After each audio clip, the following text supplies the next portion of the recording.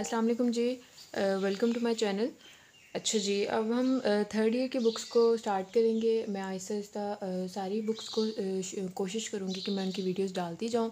तो सबसे पहले मैंने थेरापेटिक एक्सरसाइज की थेरापेटिक एक्सरसाइज सिलेक्ट की है ताकि मैं उसके लेक्चर्स डाल सकूँ। और इसमें मैंने क्या कहते हैं, ये मेरे पास जो ऑथर हैं वो हैं कैरोलिन किजनर मेरे ख्याल में सारे तकरीबन फिजियोथेरापिस्ट या स्टूडेंट जो हैं वो यही बुक ही सिलेक्ट करते हैं पढ़ने के लिए थर्ड ईयर में। तो मैं आप लोगों को चैप्टर नंबर टू स्टार्ट करवाऊँगी। चैप्टर नंबर वन हम थोड़ा सा बाद में पढ़ेंगे। तो सबसे पहले हम चैप्टर नंबर टू स्टार्ट करते हैं। हमारे पास चैप्टर नंबर टू है प्रिवेंशन हेल्थ एंड वेलनेस ठीक है? तो मैं आप लोगों को सारे सारे टॉपिक्स नहीं पढ़ाऊँगी। मैं बताऊँगी कि कौन सा टॉपिक ज़्यादा हमारे पेपर्स में आ जाता है और कौन सा टॉपिक इंपॉर्टेंट है और इस तरह से ठीक है? सबसे पहले हम लोग पढ़ते हैं और हर चैप्टर में से मैं सब कुछ नहीं पढ़ाऊँगी ठीक है? वो आप लोग को अगर आ, मैं जो चीज़ आप लोगों को स्किप करवाऊँगी वो आ, आ, वैसे आम तौर पे नहीं आती होती पेपर्स में। लेकिन अगर किसी स्टूडेंट ने पढ़नी हो आ, किसी को ज़रूरत हो तो वो मुझे कमेंट सेक्शन में बता सकता है ताकि मैं वहाँ पर आप लोगों को पढ़ा दूँ ठीक है? चलें जी। सबसे पहले हम पढ़ेंगे की टर्म्स एंड कॉन्सेप्ट्स इसमें बेसिक डेफिनेशन हैं, वो देख लेते हैं। सबसे पहले हेल्थ के बारे में वो बता रहे हैं। ये वो बेसिक डेफिनेशंस है जो वैसे तो कहीं पे भी नहीं आती, ना रिटर्न में आती है ना वाईवाज में आती है, लेकिन कभी कभी कोई खपती किस्म का टीचर होता है जो हमारे पास वाईवाज में पूछ लेता है। तो ये हम अमूमन छोड़ देते हैं कि ये तो आ जाती हैं, हर बच्चे को ही आ जाती है, ठीक है? सबसे पहले हम हेल्थ को देख लेते हैं। हेल्थ क्या है? A complete a state of complete physical mental and social wellbeing and not merely the absence of disease और इनफर्मिटी अच्छा अब इसमें हमारे पास क्या बता रहे हैं वो कि हेल्थ बेसिकली है क्या? हेल्थ का मतलब होता है कि एक पर्सन जो है वो फिज़िकली कैसा है? मेंटल मेंटली कैसा है? सोशली कैसा है? ठीक है? वो हो सकता है कि वो डिज़ीज़ डिज़ीज़ पर्सन हो या हो सकता है कि वो बिल्कुल ही हेल्दी पर्सन हो ठीक है ना? आ, हम हेल्दी यूज़ करते हैं बिल्कुल परफेक्ट पर्सन के लिए जिसके अंदर कोई डिज़ीज़ ना हो। हेल्थ बेसिकली है कि उसमें डिज़ीज़ हो भी सकती है और डिज़ीज़ नहीं भी हो सकती। A state of complete physical mental and social well being not merely the absence of disease और इन्फर्मिटी ठीक है? ठीक है। उसके बाद अगली डेफिनेशन हमारे पास आ जाती है वेलनेस की। वेलनेस क्या चीज़ है हमारे पास? हैं a state of being that incorporates all facets and dimension of human existence including physical health emotional health spiritually and socially connectivity अब इसमें ये क्या बता रहे हैं कि वेलनेस हमारे पास ये होती है कि कंप्लीट कंप्लीट एक मतलब बिल्कुल एक परफेक्ट हेल्थ ठीक है? जिसको हम हेल्दी इंडिविजुअल कहते हैं ना, उसको, उसमें हम लेकर आएँगे वेलनेस को, ठीक है? जिसमें हमारे पास फिजिकली मेंटली इमोशनली स्पिरिचुअली हर तरह के जो एस्पेक्ट्स होते हैं, उनमें वो पर्सन जो है वो नॉर्मल हो। ठीक है, इसको हम ले आएँगे वेलनेस में। फिर हमारे पास आ जाती है हेल्थ लिटरेसी हेल्थ लिटरेसी का क्या मतलब होता है? एजुकेशन ठीक है मतलब हेल्थ के बारे में एजुकेशन तो इसमें डेफिनेशन से ही पता चल रहा है कि इसमें क्या बात बता रहे हैं।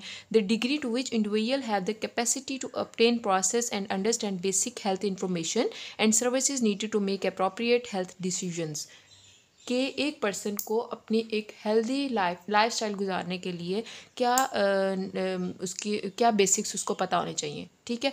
क्या उसको एक, उसके बारे में उसको एजुकेशन देना, उसको हम कहते हैं health literacy to obtain process मतलब एक उस, वो उस इंफॉर्मेशन को ऑप्टेन करे, उसको प्रोसेस करे, फिर उसको अंडरस्टैंड करे कि उसके बेसिक हेल्थ इन्फॉर्मेशन क्या है, ठीक है? और उसको फिर अपने ऊपर अप्लाई करें। नेक्स्ट हमारे पास आ जाता है हेल्थ प्रोमोशन हेल्थ प्रमोशन क्या है? प्रमोशन क्या होता है बेसिकली कि किसी चीज़ को आप प्रमोट कर रहे हो? किसी चीज़ को उसकी आ, मतलब ये आप लोगों को ये बेसिक लफ्ज़ है जिसका आप लोगों को पता ही होगा। हेल्थ प्रमोशन क्या है? Effort taken to allow an individual group और community to achieve awareness and improvement to pursue prevention and wellness आपको एक तरह से आप एक हेल्दी पर्सन हो ठीक है? आपने किसी दूसरे पर्सन को वही गाइडलाइंस देनी है जो आप खुद अपने ऊपर अप्लाई कर रहे हो ताकि वो दूसरा बंदा भी हेल्दी हो जाए। ठीक है? तो उसके लिए आप क्या करते हो? अपनी हेल्थ को प्रोमोट कर रहे हो कि यार मैं इस तरह से काम करता हूँ मैं आ, मैं एक इस तरह की डाइट लेता हूँ तो तुम भी लो ताकि तुम एक एक सोसाइटी में नॉर्मली स्टे कर सको ठीक है? तो इसमें हमारे पास क्या बता रहे हैं? हमारे पास कह रहे हैं कि health literacy sorry health promotion क्या है कि achieve awareness and improvement to pursue prevention and wellness wellness और प्रिवेंशन को परस्यू करने के लिए हम क्या करते हैं? अवेयरनेस के मतलब एक नॉर्मली अवेयरनेस देते हैं लोगों को कि इस तरह से आप करोगे तो इस तरह से होगा। Public health the practice of preventing disease and promotion promoting health good health by providing the resources and creating environment that help people stay healthy public health public का मतलब है कि पब्लिक में हेल्थ को वो करना मतलब पब्लिक में एक हेल्थ की अवेयरनेस फैलाना कि इसमें क्या बता रहे हैं कि the practice of preventing disease disease को प्रिवेंट करने के लिए और गुड हेल्थ को प्रोमोट करने के लिए रिसोर्स देना एंड क्रिएट इन्वायरमेंट और ऐसे इन्वायरमेंट्स को क्रिएट करना कि लोग खुद आपके पास मतलब वो खुद अपने ऊपर वो जो हेल्थ अवेयरनेस है उसको अप्लाई करें। तो उसमें हमारे पास क्या जाता है? पब्लिक हेल्थ आ जाती है। ठीक है, उसके बाद health related quality of the life के मतलब एक अच्छा इन्वायरमेंट होना चाहिए और एक हेल्दी लाइफ स्टाइल होना चाहिए, ये सारी चीज़ें। ये हमारे पास वो बेसिक्स बेसिक डेफिनेशंस थी जो नॉर्मली पूछी नहीं जाती, लेकिन आप लोगों को एटलीस्ट पता होनी चाहिए। फिर हमारे पास नेक्स्ट क्या चीज़ आ जाती है? Function of a physical therapist the most important question vivas के लिए भी और रिटर्न के लिए भी, कि आप अक्सर वाइवास में एक बेसिक क्वेश्चन पूछ लेते हैं कि फिज़ियोथेरेपिस्ट का क्या काम होता है, ठीक है? तो वो हम जब जब हमने ये नहीं पढ़ा हुआ था तो हम क्वेश्चन क्या बता रहे होते हैं। कि जी, वो ये कर लेता है। मतलब एक नॉर्मल जो हम फ़र्स्ट ईयर से हमारे जहन में है कि फ़िज़िकल थेरेपिस्ट क्या कर सकते हैं तो वो बता देते हैं, असल में आपसे ये क्वेश्चन कर रहे होते हैं वो। ठीक है? अच्छा पीछे मैंने जो टॉपिक्स स्किप किए हैं, वो इंपॉर्टेंट नहीं है। अगर आप लोग चाहते हैं कि वो टॉपिक्स आप लोग पढ़ना चाहते हैं तो आप लोग मुझे कमेंट सेक्शन में बता सकते हैं तो उसकी मैं अलग से वीडियो बना के इसमें डाल दूँगी। ठीक है? अच्छा जी function of a physical therapist में वो क्या बात बता रहे हैं? हमारे पास कुछ बेसिक फ़ंक्शंस हैं। सबसे पहला पढ़ लेते हैं, एक फ़िज़िकल थेरेपिस्ट क्या करता है? Identify risk factors and intervention to reduce risk in individuals and communities के एक पर्सन के अंदर रिस्क फैक्टर्स कि इसको ये हो सकता है, उसको आइडेंटिफाई करता है, ठीक है? इसको ये एक फ़िज़िकल थेरेपिस्ट ही होता है जिसको पता लग जाता है, एक पर्सन को देख कर कि इसको ये ये चीज़ें हो सकती हैं, ठीक है? तो वो आइडेंटिफाई करेगा और इंटरवेंशन टू रिड्यूस इंडिविजुअल और फिर उसके हिसाब से इंटरवेंशंस बनाएगा। कि ऐसा क्या करना चाहिए कि इसके अंदर जो रिस्क फैक्टर्स हैं, उनको ना होने दिया जाए। मतलब जो इसके अंदर मुझे लगता है कि ये हो सकते हैं तो वो ना हो डिज़ीज़ ठीक है? उसके बाद एक फिजियोथेरेपिस्ट और क्या कर सकता है? प्रिवेंट और स्लोइंग प्रोग्रेशन और फंक्शनल डिक्लाइन अगर पर्सन के अंदर फंक्शनली डिसबिलिटी है कोई तो उसको वो प्रिवेंट करेगा, ठीक है, कि ये इसके अंदर ना हो, या उसकी जो प्रोग्रेशन है उसको स्लो डाउन करेगा, ठीक है? ये बढ़े ना, मज़ीद या तो बढ़े ना, या बिल्कुल ही रुक जाए। ठीक है? And disability and enhancing activity मतलब उसके अंदर डिसबिलिटी को प्रिवेंट करेगा और एबिलिटी को एक्टिविटी को इन्हांस करेगा। ठीक है? Reduce disability by restoring the skills and independence in those with chronic condition एक तो हमने ऊपर पढ़ा है कि फंक्शनल डिक्लाइन या डिसबिलिटी को प्रिवेंट करेगा या उसको बढ़ने से बचाएगा। ठीक है? दूसरी चीज़ हम क्या करेंगे? डिसेबिलिटी को कम करेगा। किस तरह से? By restoring the skills and independence in those with chronic condition कि अगर एक पेशेंट क्रॉनिक कंडीशन में है तो उसको उससे कॉप अप करने के लिए उसके अंदर कैपेबिलिटीज़ हों।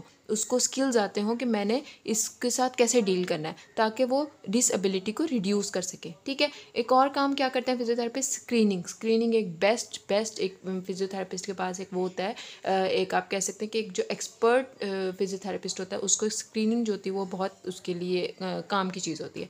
कि एक पेशेंट आया, उसने दूर से आते आते उसको मतलब वो दूर से आ रहा है, उसके चलने के स्टाइल से उसने पता लगा लिया कि इसके अंदर क्या मसले हैं। स्क्रीनिंग के ज़रिए से, एक तो स्क्रीनिंग वो पेशेंट कर लेते हैं आखिरी उसके बाद अगले क्या आ जाते हैं? इंटरवेंशंस कि जो भी हमने क्या कहते हैं, उसके अंदर स्क्रीनिंग से हमें पता लगा है कि इसके इस पेशेंट के अंदर ये ये इश्यूज़ हैं तो उसको हम फिर इंटरवेंशंस के मतलब हम इसको कैसे रिड्यूस कर सकते हैं? उसके लिए प्लान्स बनाते हैं, ठीक है? उसके बाद एजुकेशन के हमने हेल्थ वेलनेस और फिटनेस टॉपिक्स के लिए हमने पेशेंट या पर्सन को एजुकेट करना है कि आप इस तरह से करेंगे तो आप वेलनेस की तरफ़ चले जाएँगे। फिर हमारे पास आगे वो क्या कह रहे हैं? क्रिटिकल इंक्वायरी क्रिटिकल इंक्वायरी का मतलब है obtaining synthesising and utilising current research जो भी हमें उसके अंदर से इंटरवेंशन इंटरवेंशन तो हम प्लान्स बनाएँगे, लेकिन हमें स्क्रीन स्क्रीनिंग से जो भी हम हमें इश्यूज़ मिले हैं, उसको हम क्या करेंगे? सिंथेसाइज करेंगे यूटिलाइज करेंगे और डाटा को इंटरप्रेट करेंगे। मतलब एक एक फ़ाइल में जैसे कलेक्ट कर लेते हैं ना, वैसे हम एक सारा डाटा उसको कलेक्ट कर लेंगे, उसके बाद उस पर वर्क करेंगे कि इस रिसर्च ये हमें एक रिसर्च मिली है। और इसके ऊपर हम ये ये कर सकते हैं तो ये ठीक हो सकता है, ठीक है? ये सारी चीज़ें आ जाएँगी क्रिटिकल इंक्वायरी में। लास्ट चीज़ हमारे पास आ जाती है एडमिनिस्ट्रेशन कि हमने उस पेशेंट को ठीक करने के लिए प्लान्स बनाने, ठीक है? उसके ऊपर प्लान करना है और उसको बताना है कि तुम इस तरह से करोगे तो तुम ठीक हो सकते हो, ठीक है? और उसको बताना है कि तुम इस तरह से कैसे करोगे तो तुम सारा कुछ तुम्हारा ठीक हो सकता है। ये बेसिक हमारे पास फ़ंक्शन से फ़िज़िकल थेरापिस्ट के क्या चीज़ हमने बताई है? रिस्क फैक्टर्स को आइडेंटिफाई करता है। और फंक्शनल डिक्लाइन को डिक्रीज़ करता है या प्रोग्रेस होने से बचाता है, या फंक्शनल डिक्लाइंस को दूसरी कौन सी चीज़ें जिससे ठीक जिससे हम ठीक कर सकते हैं? क्रॉनिक कंडीशन से कॉप अप करने से, ठीक है? फिर स्क्रीनिंग एक बेस्ट तरीका है फ़िज़िकल थेरेपिस्ट का, उसके बाद इंटरवेंशन मतलब स्क्रीनिंग के बाद आप लोगों के जहन में खुद ही आ जाना चाहिए कि जब स्क्रीनिंग हमें पेशेंट के अंदर से एक डिज़ीज़ मिल गई है तो हमने उसके बाद इंटरवेंशन मतलब उसको प्लान्स बनाने के ये ठीक कैसे होने उसके बाद एजुकेट करना है सॉरी एक पॉइंट भूल गए कंसल्टेशंस कि हमने एक पेश, एक जो पर्सन है वो डॉक्टर के साथ कंसल्ट कर सके कि ये कि उसको असल में मसला क्या है, ठीक है? और ये मसला किस लिए हुआ है, ठीक है? उसको इस लिहाज से नॉलेज देना है और उसको एक्सपर्टीज़ प्रोवाइड करनी है कि वो किस तरह से ठीक हो सकता है। कंसल्टेशन आगे एजुकेशन आगे क्रिटिकल इंक्वायरी आगे और एडमिनिस्ट्रेशन आगे, ठीक है? या आप लोग को बेसिक पॉइंट्स भी याद होंगे तो आप लोग खुद अपनी तरफ़ से अंदर अंदर लिख सकते हैं। फिर हमारे पास आ जाती है प्रिवेंशन आई होप कि आप लोग को प्रॉपर नज़र आ रहा हो यहाँ पे और अगर आप लोगों को थोड़ी सी भी वीडियो में कोई मसला है या कोई भी इशू है तो आप लोग मुझे कमेंट सेक्शन में आ, मुझे बता सकते हैं ताकि मैं उस लिहाज से वीडियो को थोड़ा सा प्रॉपर सही कर सकूँ उसमें इम्प्रूवमेंट ला सकूँ ठीक है? अच्छा जी। फिर हमारे पास आ जाती है प्रिवेंशन एक्टिविटीज़ प्रिवेंशन एक्टिविटीज़ में बेसिकली बस तीन चार बातें जो आप लोगों को जहन में होनी चाहिए। उसमें क्या है कि प्राइमरी प्रिवेंशन सेकेंडरी प्रिवेंशन और टर्शरी प्रिवेंशन क्या होती है? प्राइमरी प्रिवेंशन होती है कि हमें एक टारगेट प्रॉब्लम मिल गया, ठीक है, या कंडीशन मिल गई है, उसको हमने प्रिवेंट करना है, ठीक है? जैसे एग्जांपल के तौर पे हम इसमें बताई हुई है developing fitness programme for children to prevent site और बैक इंजरी कि हमें हमने पहले से ही एक प्लान कर लेना है कि अगर बच्चे यहाँ पे इन इन जगहों पे बैठेंगे तो उनको कोई इशू आ सकता है बैग का। तो हमें पहले से ही उसको वो करना चाहिए, इसको बचाना चाहिए इस चीज़ से बच्चों को, ठीक है? तो ये हमारे पास एक टारगेट प्रॉब्लम है जिसको हमने पहले से ही, बच्चों की बैक पेन आने से पहले ही हमने उस प्रॉब्लम को ठीक कर लिया, ठीक है? फिर हमारे पास आ जाता है सेकेंडरी प्रिवेंशन जी, नज़र आ रहा है। ठीक है। सेकेंडरी प्रिवेंशन में हमारे पास क्या चीज़ आ जाती है? Decreasing the duration and serving and severity of the disease अब डिज़ीज़ हो गई है एक पर्सन को, ठीक है? एक पर्सन को डिज़ीज़ या प्रॉब्लम उसके अंदर है, उसको हमने उसका जो ड्यूरेशन है या सिवेरिटी है उसको कम करना है, ठीक है? कि वो जल्दी ख़त्म हो जाए। तीसरी चीज़ हमारे पास आ जाती है टर्शरी प्रॉब्लम अच्छा सेकेंडरी प्रॉब्लम में एग्ज़ाम्पल आ जाती है ऑस्ट्रोप्रोसिस की, कि एक पेशेंट को बोन्स का इशूज़ है इशू है, और उसके अंदर हमने ये देखना है कि ये सिवियर ना होता जाए और इसका ड्यूरेशन कम हो जाए तो उस लिहाज से हमने उसके अंदर सेकेंडरी प्रिवेंशन की इंटरवेंशंस करनी है। तीसरी चीज़ हमारे पास आ जाती है tertiary prevention decreasing the degree of disability एक पेशेंट डिसेबल हो गया मतलब एक तो सेकेंडरी में हमने पढ़ा था कि उसके अंदर एक टारगेट प्रॉब्लम हमें पता लग गया है, उसके अंदर है वो प्रॉब्लम लेकिन हमने उसकी सिवेरिटी को कम करना है। टर्शरी में सिवेरिटी भी हो गई है, ठीक है? सिवियर प्रॉब्लम हो गया है तो हमने क्या करना है कि अब उसको बिल्कुल डिसेबल है, वो कुछ नहीं कर पा रहा तो हमने उसको उससे ठीक करना है, जैसे spinal cord injury spinal cord injury हो जाती है तो उससे पेशेंट बिल्कुल चल फिर नहीं सकता तो वो एक टर्शरी प्रिवेंशन है, उसके लिए हमने इंटरवेंशन करनी है कि हम उसको प्रिवेंट कर सकें, ठीक है? ये कुछ बेसिक बातें हैं, इतनी ज़्यादा पेपर के लिए इंपॉर्टेंट नहीं है, लेकिन आपको पता होनी चाहिए ठीक है? हमने क्या पढ़ा है? आज की वीडियो में आ, सबसे पहले हमने कुछ डेफिनेशंस पढ़ी हैं स्टार्ट में। आ, एक मिनट कुछ डेफिनेशंस हमने ये स्टार्ट में कुछ पढ़ी थी और उसके बाद हमने फ़िज़िकल थेरेपिस्ट के फ़ंक्शंस पढ़े फिर प्रिवेंशन एक्टिविटीज़ पढ़ी। अच्छा प्रिवेंशन एक्टिविटीज़ में ना आगे आ, मैं आपको थोड़ा सा जूम आउट करती हूँ ताकि आप लोगों को नज़र आ जाए। ये वाला टेबल प्रिवेंशन एक्टिविटीज़ में अब कुछ एग्जांपल्स बताई हुई हैं। एग्जांपल समझ लें या आ, कुछ ये टॉपिक एक आपको पता होना चाहिए। अब हमने प्रिवेंशन में कुछ पढ़ा था प्राइमरी प्रिवेंशन सेकेंडरी और टर्शरी प्रिवेंशन अब इसमें हमारे पास क्या आ जाती हैं? कुछ डिज़ीज़ बताए हुए कुछ हमारे पास रिस्क फैक्टर्स बताए हुए कि अगर स्कॉलियोसिस का पेशेंट है, ठीक है? हमें पता लग गया कि इसको स्कॉलियोसिस है तो उसको हमने क्या करना है कि एजुकेट करना है एक उसके अंदर उसको बताना है कि तुम्हें ये ये मसला है और ये किस तरह से ठीक हो सकता है। उसको ट्रीटमेंट बताना है, ठीक है? कि ये इस तरह ये ये एक्सरसाइजेस करोगे या इस तरह से इस तरह के पोजीशन बनाओगे तो तुम ठीक हो सकते हो। तो ये चीज़ हमारे पास स्कॉलियोसिस में आ जाएगी। फिर हमारे पास आ जाते हैं ओबेसिटी ओबेसिटी एक आ, मतलब एक हेल्दी ओवर हेल्थ पर्सन है उसको उसके अंदर हम क्या करेंगे कि हम उसका फिटनेस प्रोग्राम बनाएँगे। ठीक है? तो ये हमारे, ये हम प्रिवेंशन एक्टिविटीज़ करें कि उसका हम ओवरवेट पर्सन है तो उसका हम फिटनेस प्रोग्राम बनाएँगे और उसको हम एजुकेट करेंगे कि ये ये न्यूट्रिशन ले और इस तरह से अपनी डाइट रखे तो वो हमारे पास ठीक हो सकता है। तीसरी चीज़ हमारे पास वो बता रहे हैं ऑस्टियोपोरोसिस का पेशेंट ऑस्टियोप्रोसिस का पेशेंट के लिए हम क्या करेंगे कि develop a community education programme related to osteoporosis कि वही हमने अच्छा आपने एक चीज़ ये ये जहन में रखनी है कि हमने एजुकेट हर पर्सन को करना है। जो भी हमारे पास पेशेंट आएगा पर्सन आएगा, उसको हमने एजुकेट करना है। फ़र्स्ट हमारा एक टारगेट एक होता है कि हमने उसको एजुकेट करना है, उसको बताना है कि तुम्हें ये मसला है, तुम ये ये करोगे तो तुम ठीक होगे। ठीक है? अच्छा ऑस्टियोप्रोसिस के पेशेंट को भी हमने एजुकेट किया, ठीक है? उसके बाद हमने उसको develop resistance and weight bearing exercises उसको वेट बेरिंग एक्सरसाइजेज के बारे में बताया कि अगर तुम ये करोगे तो तुम्हारा मजीद मसला बढ़ जाएगा। ठीक है? तो उसको बताना है कि क्या क्या वो काम कर सकता है, उसके बाद उसकी स्क्रीनिंग करनी है। ठीक है? ऐसा क्या हो रहा है कि उसको ऑस्टियोप्रोसिस की वजह से वो जल्दी गिर जाता है, बैठ नहीं सकता, खड़ा नहीं हो सकता? ऐसा क्या मसला है उसके साथ? स्क्रीनिंग उसकी करनी है, ठीक है? फिर हमारे पास अगली क्या चीज़ आ जाती है? फॉल्स के कुछ लोग होते हैं खड़े खड़े गिर जाते हैं, ठीक है? उनके अंदर ये इशू होता है। तो उनकी भी हमने स्क्रीनिंग करनी है, उनको पता लगना चाहिए कि वो क्यों ऐसा हो रहा है उनके साथ? उनकी स्ट्रेंथनिंग एक्सरसाइजेज उनको बतानी है बैलेंस या कोऑर्डिनेशन के ख़ासतौर पे ओल्डर एडल्ट्स के अंदर ये होता है कि वो खड़े खड़े मतलब नहीं खड़े हो सकते ज़्यादा देर के लिए। तो उनको ऐसी एक्सरसाइज बतानी है कि वो स्ट्रेंथ बैलेंस और कोऑर्डिनेशन के लिए हेल्पफुल हो। उसके बाद वर्क साइट असेसमेंट के जो ऑफ़िस में काम करते हैं लोग, उनकी हमने वहाँ पे जाकर उनकी देखने के वो किस तरह से वहाँ बैठते हैं, काम किस तरह से करते हैं सारा दिन, कितना टाइम वहाँ पे लगाते हैं, ये सारी चीज़ें देखनी है कि हाँ ऐसी कौन सी वहाँ पे वो चीज़ करते हैं कि जो उनके लिए इंजरी कॉज ऑफ़ इंजरी बनता है, ठीक है? जो उनके लिए रिस्क बन सकता है। ठीक हो गया, ये कुछ एग्ज़ाम्पल हैं स्कॉलियोसिस ओबेसिटी ऑस्टियोपोरोसिस फॉल्स और बर्क साइज़ साइट असेसमेंट ठीक है?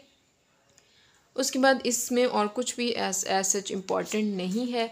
और उसके बाद नेक्स्ट हम लोग टॉपिक पढ़ेंगे अपनी नेक्स्ट वीडियो में। यहाँ तक आप लोगों को कुछ भी ना समझ आया तो आप लोग फ्रेंकली कमेंट सेक्शन में पूछ सकते हैं। मैं उसको ज़रूर हर बंदे को अलग अलग आंसर कर सकती हूँ।